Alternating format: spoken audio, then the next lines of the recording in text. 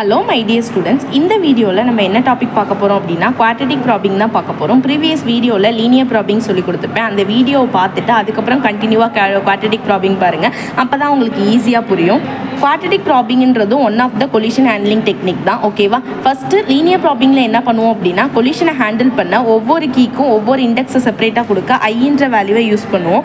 ஆனால் இங்கே குவாட்ரட்டிக் ப்ராபிங்கில் என்ன பண்ணுவோம் அப்படின்னா ஐக்கு பதிலாக ஐ ஸ்கொயர்னு சொல்லி ஒரு செல்லுக்கு வந்து ஸ்கொயரில் போகிறனால நமக்கு ஈஸியாக வந்து லீனியர் ப்ராபிங்கை விட குவாட்ரட்டிக் ப்ராபிங்கில் இண்டெக்ஸை வந்து ப்ளேஸ் பண்ண முடியும். அதுதான் குவாட்ரட்டிக் ப்ராபிங் அப்படின்றது. இப்போ பாருங்கள் எக்ஸாம்பிள்ஸ் பார்க்கலாம். ஃபர்ஸ்ட் வந்து ஃபார்முலா பார்த்தோம் அப்படின்னா சேம் ஃபார்முலா தான். இங்கே என்ன பண்ணுறேன் அப்படின்னா எஃப் ஆஃப் ஐக்கு பதிலாக என்ன பண்ணுவோம்? ஐ ஸ்கொயர்னு போட்டுக்கிறோம். அதாவது H of H I of எக்ஸ்ன்றது hash of X plus F I square mod of table size போடுவோம். எக்ஸாம்பிள் எனக்கு eighty nine eighteen forty nine fifty eight sixty nine ஒரு லிஸ்ட் கொடுத்துட்டேன். எப்பவும் போல் முதல்ல நம்ம வந்து எம்டி டேபிள் போட்டுக்கணும். ஸோ டேபிள் சைஸ் நோட் பண்ணிக்கணும். எம்டி டேபிள் இப்படி தான் இருக்கும். ஒவ்வொரு வேல்யூ இன்சர்ட் பண்ணுறப்ப எப்படி வேல்யூ இருக்குன்றதை போட்டுக்கணும்.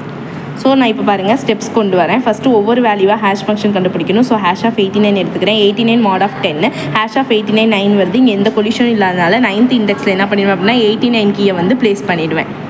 நெக்ஸ்ட்டு எயிட்டீன் அதே போல் எயிட்டீனுக்கு வந்து எயித்து பொசிஷன் கிடைக்கும். அங்கேயும் கொலிஷன் இல்லாதனால எயித்து பொசிஷனில் எயிட்டீனோட வேல்யூவை ப்ளேஸ் பண்ணிடுறேன். இப்போ ஃபார்ட்டி நைன் போகிறேன் forty nine mod of ten போடுறப்ப நைன் வருது. நைன் ஆல்ரெடி எயிட்டி நைன் கொடுத்தாச்சு. இங்கே கொலிஷன் அக்கர் ஆகுது. அப்படி கொலிஷன் அக்கரானா என்ன பண்ணணும்?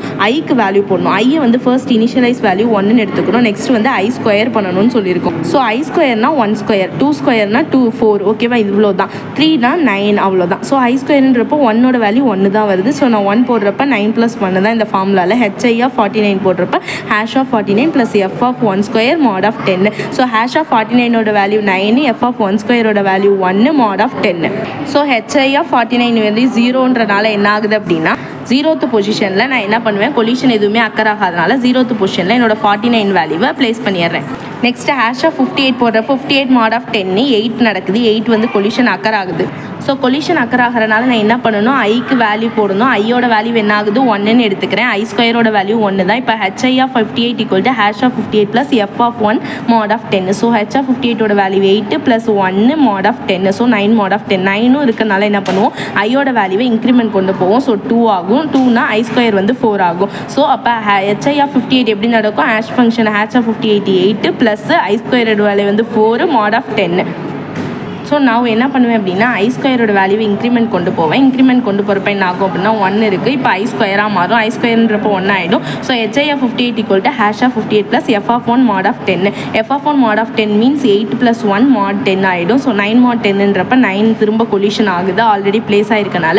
இப்போ என்ன பண்ணுவேன் அப்படின்னா ஐயோட வேல்யூ இன்க்ரிமெண்ட் பண்ணேன் அப்படின்னா ஐ ஈக்குவல் டு டூ ஆகிடும் அப்போ I square equal to four ஆகிடும் so H I of fifty eight அப்படின்றது hash of fifty எயிட்டோட value eight F of I வந்து ஒன்று இருக்கனால இங்கே இங்கே ஃபோர் இருக்கனால ஃபோர் வரும். So four mod of ten so twelve mod of ten H I fifty eight வந்து டூன்றனால எந்த ஒரு கொலிஷன் இல்லாத செகண்ட் பொசிஷனில் ஃபிஃப்டி எயிட்டை ப்ளேஸ் பண்ணிடுவேன் இதே போல் ஹேஷ் ஆஃப் சிக்ஸ்டி நைன் போடுறேன் so sixty nine mod of டென்ன்றப்ப nine collision occur ஆகுது ஸோ ஐ வேல்யூ கொடுத்துக்கிறேன். ஐ ஸ்கொயர் கொடுத்துக்கிறேன் நெக்ஸ்ட் இப்போ த்ரீன்ற வேல்யூ கொலிஷன் அக்கர் ஆகாதனால சிக்ஸ்டி நைன்த் வந்து த்ரீ பொசிஷனில் வந்து சிக்ஸ்டி நைன் கீ வேல்யூவை ப்ளேஸ் பண்ணிடுறேன். இவ்வளோ தான் ஹேஷ் டேபிள் ஃபிக்ஸ் பண்ணோம் அப்படின்னா குவாடிட்டிக் ப்ராப்ளம் முடிஞ்சு. ஃபைனலாக என்னுடைய ஹேஷ் டேபிள் எப்படி இருக்கும் அப்படின்னா இப்படி தான் ப்ளேஸ் ஆயிருக்கும் ஸோ ஃபைனல் டேபிளில் எனக்கு எல்லா வேல்யூவும் செப்பரேட்டாக எனக்கு ப்ளேஸ் ஆயிருக்கும். இவ்வளோ தான் நமக்கு வந்து என்ன அப்படின்னா குவாடிட்டிக் ப்ராபிங் அப்படின்றது. இந்த வீடியோவில் ஏதாவது டவுட் இருந்தால் கமெண்ட் செஷனில் கேளுங்க. இந்த நோட்ஸ் உங்களுக்கு வேணும் அப்படின்னா Azhagan Murugan family Gmail dot காம்ன்ற mail ஐடிக்கு மெயில் பண்ணி நோட்ஸ் வாங்கிக்கோங்க. டேட்டா ஸ்ட்ரக்சர் டிசைனுடைய பிளேலிஸ்ட்டை செக் பண்ணி ஃபைவ் யூனிட்ஸ்க்கான வீடியோ ஃபுல்லாக பாருங்கள் தேங்க்யூ